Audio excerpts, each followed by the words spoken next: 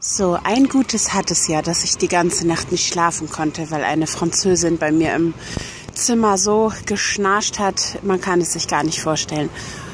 Hätte ich geschlafen, wäre ich wahrscheinlich nie so früh auf den Beinen und würde Venedig so in aller Frühe, aller Stille, beziehungsweise nur mit den ganz typischen Geräuschen der Händler und Arbeiter erleben. Die Möwen sind auch schon schwer zugange, wie man sieht.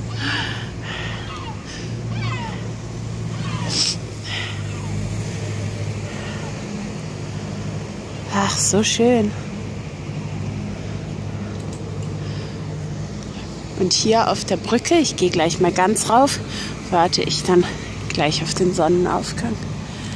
Hinten, hinter der, ich glaube, Santa Maria della Salute.